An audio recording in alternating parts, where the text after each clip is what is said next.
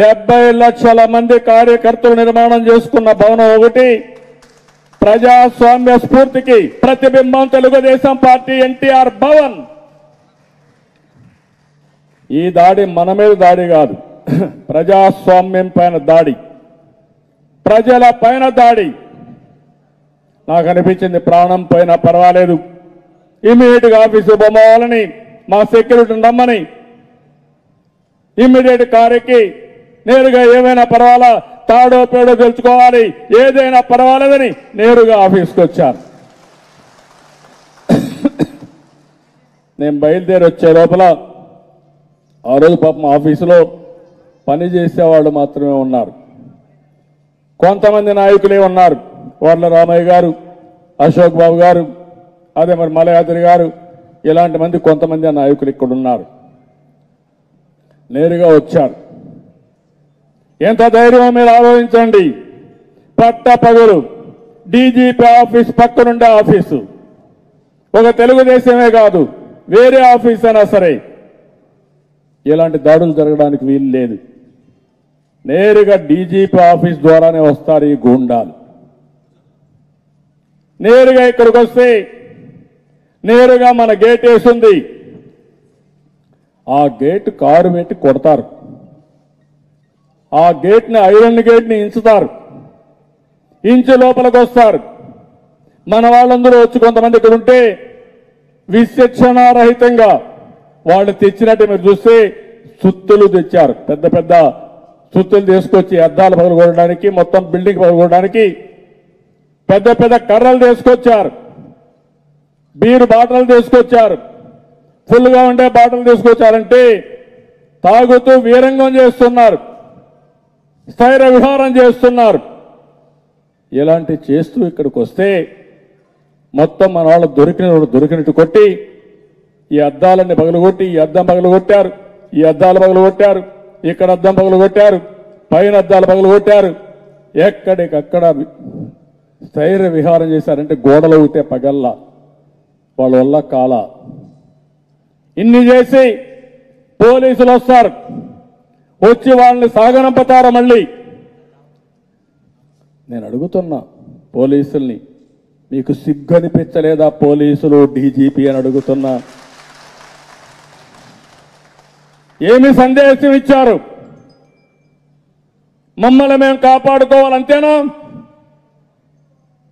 YSR Congress party Telugu Desam party అయితే నేను సవాలు విసురుతున్నా మమ్మల్ని మేము కాపాడుకుంటాం. మీకు చేత కాకపోతే పోలీసు వ్యవస్థని మూసేసి ఇంటికి పోండి మీరు. నేను ముఖ్యమంత్రిగా పనిచేశా ఇరవై రెండు సంవత్సరాలు మన రాష్ట్రంలో అధికారంలో తెలుగుదేశం పార్టీ ఉంది. సామాన్య ప్రజానీకం కానీ ప్రతిపక్షం కానీ ఎవడికి ఆపద వచ్చినా ఆపదలో తన మన చూడకుండా కాపాడిన పార్టీ తెలుగుదేశం పార్టీ. అది రాజ్యాంగ ధర్మం. ఏదైతే ఈ ముఖ్యమంత్రి ప్రమాణ స్వీకారం చేశాడో రాజ్యాంగం పైన ప్రమాణం చేశాడో దాన్ని నిర్వర్తించవలసిన బాధ్యత ఈ ముఖ్యమంత్రి పైన ఉంది. ఏదైతే ఐపీఎస్ ఆఫీసర్గా రిక్రూట్ అయిన తర్వాత డీజీపీ ప్రమాణం చేసి ఆ పదవి స్వీకరించాడో ఆయన బాధ్యత ఇది. అలాంటిది మీరు వచ్చి ఇంత విధ్వంసం జరిగితే ఆ రోజు సాయంత్రం నేను వస్తే నాకు అనిపించింది ఇంతవరకు నా మంచితనాన్ని చూశారు. ప్రజాస్వామ్యాన్ని కాపాడడానికి ఏం చేయాలో చేసి చూపిస్తా అది జరుగుతుంది. కబద్దార్ జాగ్రత్తగా ఉండమని పోలీస్ వ్యవస్థని ఈ ముఖ్యమంత్రిని హెచ్చరిస్తున్నా. ఆ రోజు చెప్పాను నేను. ఈ రాష్ట్రంలో లా అండ్ ఆర్డర్ పూర్తిగా ఫెయిల్ అయింది.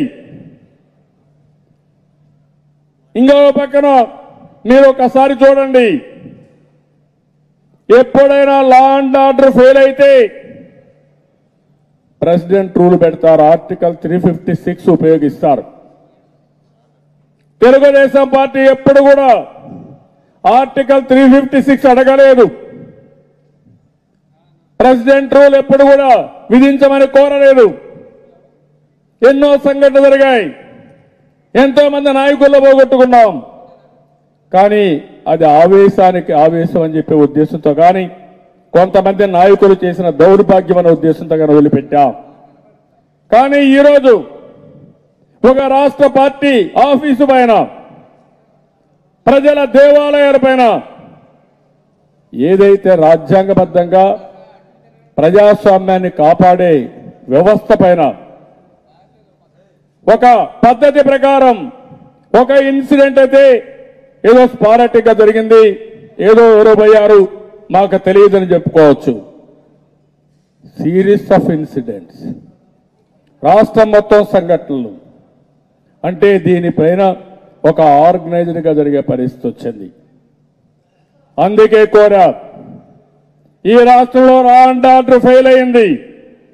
ఎప్పుడు అడగని పార్టీ ఈరోజు ఆర్టికల్ త్రీ ఫిఫ్టీ సిక్స్ ఉపయోగించి రాష్ట్రపతి పాలన పెట్టమన్నామంటే అంత తీవ్రంగా ఈ రాష్ట్రంలో లా అండ్ ఆర్డర్ పరిస్తుందని చెప్పే ఉద్దేశంతోనే ఆ రోజు కోరాం. ఎన్ని గడ్స్ ఉండాలి డీజీపీకి? ఈ ఆఫీస్ పైకి దాడికి పంపిస్తారు. ఎవరో ఒక ఆయన వచ్చాడంటే ఒక సిఐ. నేను ఇవన్నీ చూసిన తర్వాత పట్టాబింటికి వెళ్ళి హాస్పిటల్కి వెళ్ళి రాత్రి ఇంటికి వెళ్ళి బంధకాలు ఇచ్చాను అందరితో మాట్లాడాను.